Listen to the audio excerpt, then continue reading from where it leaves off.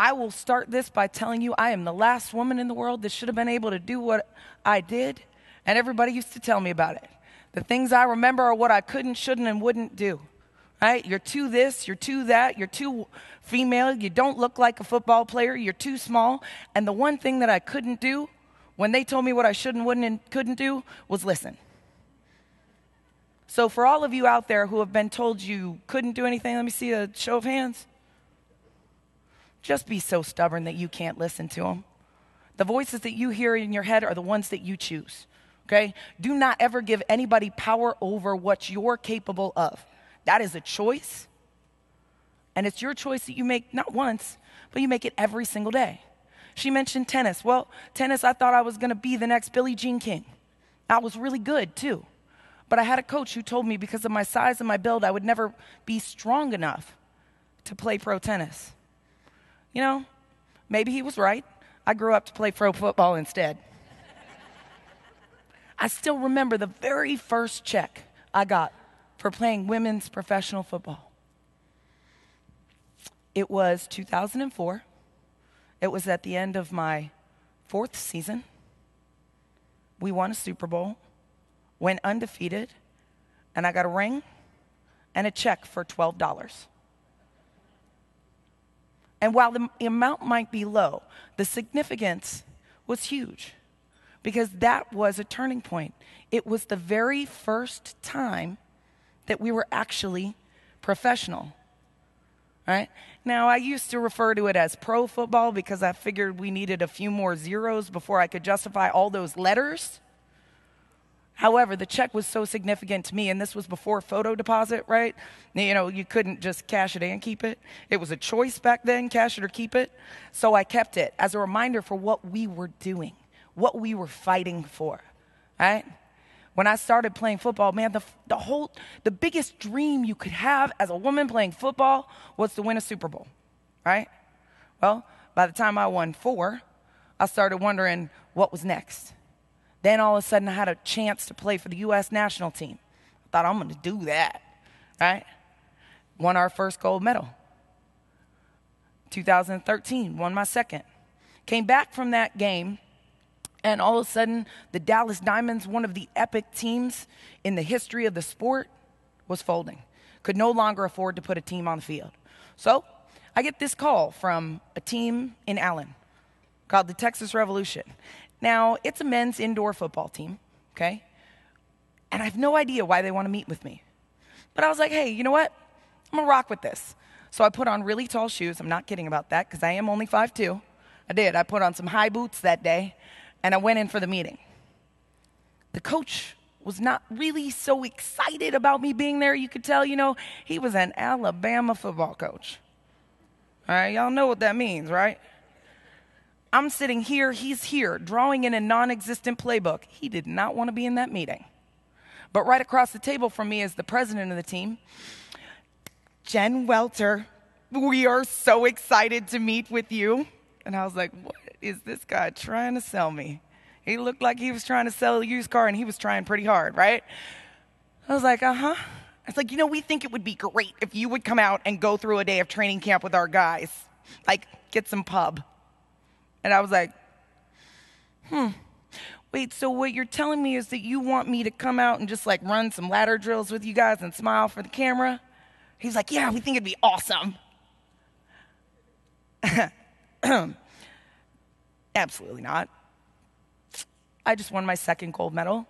And to me, as an athlete, that's really insulting. And if I was any one of your guys on your team, I would absolutely hate it. If you want to do anything with me and your football team, I either do everything that they do, step for step, hit for hit, or I do nothing at all. Now, he looked like I had just smacked his mama. I had this moment of, oh, what did I just do? I think I might have just gotten myself killed. And the coach looked up at me and he smiled. It was in that moment that I knew I had stepped into my destiny for the second time. The first time was when I started playing football, the second one was when I talked that moment into existence because that was not what they wanted. It was not a legit shot. There are a lot of you in here, I would tell you, that you will have an opportunity where you can make something legitimate in your life or you can let them use you. Okay? Now, when you do that, I don't care how you get in the door. What matters is what you do when you get there. So you got to kick a little butt. Okay? So it was not supposed to be a legit shot, but all, the, all of a sudden, I spoke it into existence. Right? That president, ooh, he was frightened, right? He was like, uh, uh, uh, coach, uh, do you think it would be too much of a distraction if she went through all of training camp? Coach Dub looked at him and he said, with an attitude like that? Hell nah. She'd be the best thing for this football team. She'd give these boys a kick in the butt. And then he looked at me and he said, Every drill. Yes, coach. Step for step. Yes, coach. Hit for hit. Yes, coach. If you sidestep one drill, I swear I'm going to cut you. Yes, coach. If one guy sidesteps you, I'm going to cut him and I'm going to tell him all about it too. Y'all trying out for this football team. Yes, coach. Frankly, I don't think you're going to make it. I don't know either, coach. And one more thing you can't play linebacker for me. You're too light in the butt. You get killed. You're going to have to play running back. Whoa, coach. So you want me to do exactly opposite what I've been good at my whole career? Yep. I'm honestly a little bit more afraid of uh, playing offense than I am of playing against men. Too bad. That's the only way we can take you. Well, all right then. So we did it. Now, when I got to the team training camp, there were two things those guys needed to know. Number one, are you here for the right reasons? Do you belong? Physically. Can we hit you with everything we got and will you get back up and do it again? I was not a running back, I was not good. But they needed to see that no matter what, I was going to get up and I'm like, hey, I can do better. Boom. Take the very best hits that they had. Boom. I can do better. Right? That was number one. All right. Just take a hit. Right? Then number two, do you belong? Is it going to be awkward? And for those of you who have been in this, ladies, I am talking to you. You have a choice when you're going into a situation where they are, they are not used to having you there. I want you to assume that it's not the guys don't want you there, it's just that they're not used to it. Okay? Because we make it awkward a lot of the times. Guys are so scared now to offend us that they're walking around on eggshells like, oh my gosh, is she gonna freak out? Right? And I've been in the most male dominated situations, and I can promise you they were all like, oh, is she gonna freak out? So you can take that tension out of the situation by giving them the benefit of the doubt, okay? I had to do it with humor.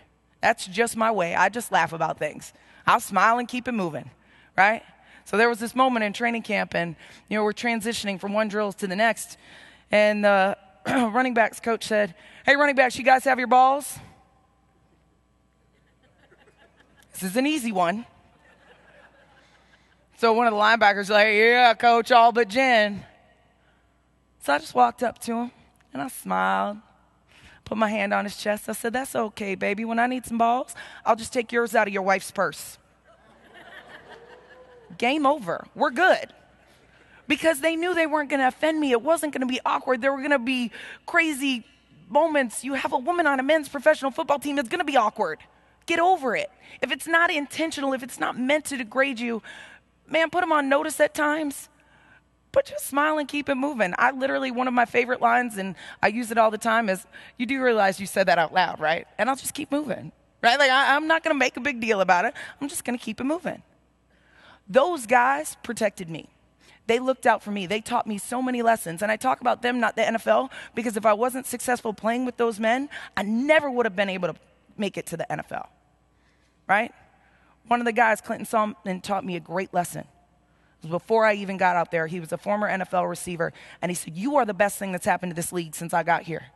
And I want you to know that the locker room handles itself. One of those guys gives you a hard time, don't you dare let him see that he got to you. It's like, if I hear about it, I'll, I'll, I'll set the tone, right? I got you back. Locker room handles itself. And I was like, All right, cool. I'm not going to let anybody see anything. So I'm in, in training camp, and I didn't, I didn't know what he was talking about, but Solo comes up to me and he was like, Little mama, I got this. Uh, I don't know what you got, but okay. Apparently, one of the cornerbacks was saying, I hope she runs my way, because if she does, I'm to take her out. Solo heard about it. It's a great one to hear about it. Your number one player, your number one receiver. He said, Coach, I need some one on ones right now. This guy, me and him one on one. He looked at the quarterback. He's like, yo, I'm going to run a fade. I'm going to catch a touchdown on you. Runs down, catches a touchdown. He said, You still want to talk crap to a girl? Let's do it again. Boom, lines up again. Hey, I'm taking it to the house right here. 10 times in a row. So you are not good enough to talk crap to a girl. You need to focus more on your game because I got you cut today. And he did. And he taught me to let men be men at times. Ladies, just because you are physically capable of opening a door doesn't mean that somebody opening it for you does not mean you're not capable. Right? Smile, laugh, nod, have fun with it. It took me being able to rock with the guys to make it with the guys. The reason I got my shot in coaching was coming into the next season, we had a brand new head coach. I walked into a, an event and all those guys saw me and they picked me up and they're tossing me around like a football because relative to them, I am one. Right? But he looked and he said, Who is this girl that all my guys love? And somebody smiled and said, Coach, that's your running back. He said, I had no idea that those guys would love you. I knew everything about you, but I never imagined that they would love you like that. So he grilled me in football, all this stuff. Man, put me to task. I thought, I have nothing to lose. I'm done with this team. I survived playing on a team for a year. I was on the team for a whole year. So I got tackled by big men every day for a year. It was painful, but I survived. That's what I can say about it. All right? I thought I was done, so I laid on the card, all the cards on the table. Hey, they were really bad about this. Team doesn't take care of the guys. I would stand up for them all the time because, oh, wait, I was the number one story in the country right now. Go ahead and cut me. They're afraid you'll cut them. Oh, no, cut me. I'll tell them why. I'll tell them all why. So while those guys looked out for me on the field, I looked out for them off the field. So they had a lot of, we had a lot of mutual respect and love for each other. We took care of each other in the ways that we could, right? So Wendell calls me the next day and he was like, All Devin, who was his uh, defensive coordinator, and I could talk about is how you have to coach this football team. And I said, Dude, are you crazy? I don't want to coach football. Uh uh-uh. uh. I'm playing, I'm at the top of my career. You know, I just played a season against men. I could do anything in this game. Right? I've seen it faster and harder. I could go back to the women's game and still dominate. I don't want to coach football. And you want to throw me right into men's professional football? You are crazy. And he said, Not a lot of guys are going to give you this opportunity. You're taking this damn job. And I said, No, click. Didn't want to coach football. Was never, was never anything I set out to do. And so when I tell y'all I never dreamt about the NFL, I'm telling you the honest truth. Okay? So the next day he calls me back and he said, You know, Jen, I realized something. You didn't turn me down, you turned the organization down. Busted. He's a pretty smart guy because I knew how the organization treated people and I, I, I, thought I was done with it, right? So he said he had walked into the office and that everybody got really nervous. It's like, uh, uh, coach, uh, we saw that you met Jen Welter. you got to watch out for her. And he said, huh. He said, in my mind, I realized anybody that made them not that nervous was exactly the person I needed on my staff. So well, he said, watch out for her. What do you mean? You got to watch out for her. I just hired her. She's coaching for me. So he called me up and told me I was coaching football, even though I had never accepted the job. He accepted it on my behalf. Thankfully, I like to say Wendell Davis saw something in me before I even saw it in myself. And that is one of the biggest secrets, I think, to when you talk about women in male dominated environments or how do you how do you create that diversity? It's sometimes it's pushing people and seeing something that they haven't even seen yet in themselves okay? Because i never would have coached professional football if he hadn't done that. If he hadn't accepted a job on my behalf that i had turned down right? Now how do you step from there to the nfl because at that time, the NFL was the no female league. When we started playing football, they would say it was the final frontier for women in sports. I promise you, it never once crossed my mind that the NFL was a place that I could even step a toe in the water. And certainly not as a coach. I'd never even been on the sidelines with a press pass, okay? I'd barely been to NFL games, probably about seven in my life at that time. But at the NFL owners meeting, when they announced Sarah Thomas as the very first female ref, somebody asked Bruce Arians in a press conference if he could ever see a female coaching in the NFL. And Bruce, being Bruce, he said, absolutely. The second a woman can make somebody better in the NFL, she'll be hired. So I went back to my coach. I heard about this and I talked to my head coach. And he was like, Well, we should call Bruce. And I looked at him like he was crazy because that was crazy. And he said, Can you get me his number? I'm thinking, Dude, you played in the NFL. Can't you get his number? Why me? I've never even called an NFL hotline, right? Like, I never even got real tickets off StubHub. I was probably in the parking lot trying to get some, right? We don't call the NFL. This is the no female league, and you want me to call? You are crazy. So I got home, and it was bothering me like crazy. And see, being a female athlete is a full time hustle. I think that's why I chose the number 47 because I had to have like 47 jobs. Well, on that one, I on that day in particular, I created a new one, and it wasn't Devin Wyman's assistant coach, it was his assistant. so I went on the Arizona Cardinals website and I found a number. And I called on behalf of myself as if I wasn't myself.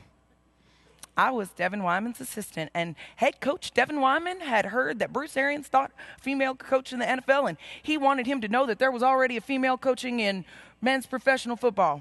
And I talked my way all the way to Bruce's assistant. And I talked to him about myself again, as if I wasn't myself. And I told this story about this female coach and how the head coach really wanted to reach out to Bruce on her behalf. And he said, You know what? I think this is a call Bruce would really want to take. He said, But we're, you know, kind of busy getting ready for that thing called the NFL draft right now. But I'll have him call you back. I thought I had gotten blown off. But I was pretty proud of myself that I picked up the phone. I was like, I did that. Woo! That was kind of cool. Two weeks later, I walk into practice, and we used to practice at, our practice would start at 6 a.m.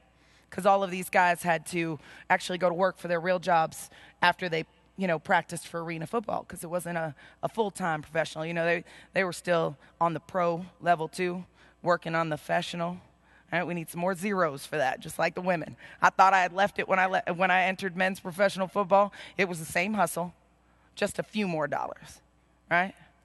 And Devin is beaming. Now, Devin Wyman is six foot eight, and he's not a basketball six foot eight. He's a football six foot eight.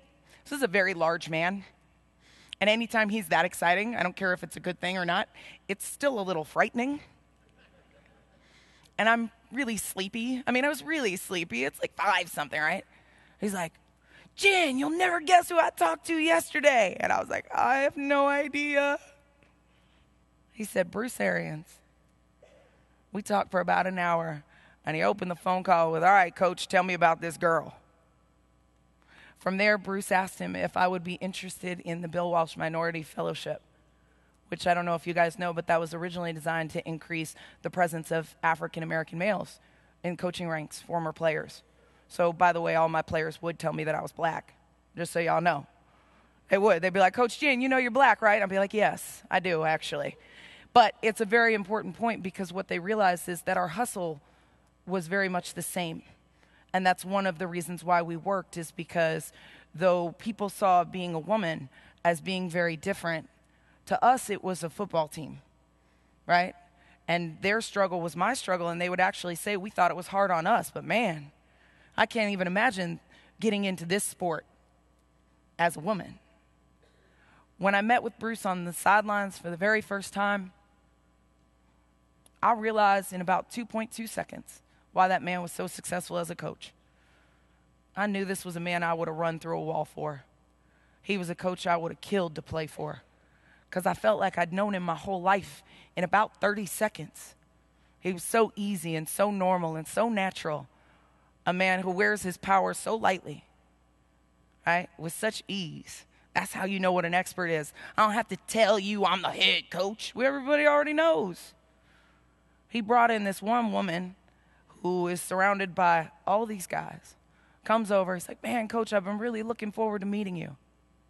And he said, You know, you know, I can only put these guys in pads about 14 days. How the F, I don't mean football, am I supposed to build when I build a team when I can only put these guys in pads 14 days? I said, I don't know, coach. Maybe you should come grab some of my guys from Arena because I can promise you they haven't been out of pads 14 days. And frankly, I don't think I was out of pads 14 days my whole career. He said, By the way, I and cuss. I said, Good, it's effing football. And in that moment, he looked at me and he just nodded because that was a test. If the F word, and I don't mean football, could shake me on the sidelines of OTAs, how in the heck would I be able to handle becoming the first female coach in the NFL? So I would say the F word kind of got me my job. So y'all might not want to hate on that word because it's not the word that should offend you, it's the use. And I say that all the time. It can be the best word in, word in the world, and that day it was. At the end of that, he said, Hey, Jen, can you wait to the end of practice because I want to talk to you? And I thought, Shoot, I can't see anything. I'm too short, but there is no place in the world I would rather be. We talked at the end, and he said, When I was coaching, one of the best coaches I ever saw was at Hinds Junior College, the receivers coach and her name was Dot Murphy. The fact that that hasn't changed in all these years is not good. I don't know yet if I can make this happen. I have to get a lot of yeses. But I want you to know it's in my heart to try. Guys, there's nothing in this world that is not possible. Even if it's a dream that you did not dare to dream, it's still something that you can make happen in your own life. But you have to be bold enough to own your own destiny and be willing to bet on yourself every step of the way. Because if I wasn't willing to play for a dollar a game, I certainly would have had no business becoming the first female to coach in the NFL. I hope you all will take that into your own lives and just learn how to play big, even when you're five foot two. Thank you so much. You better get a little loud, though. I mean, like, it's football. You still soft.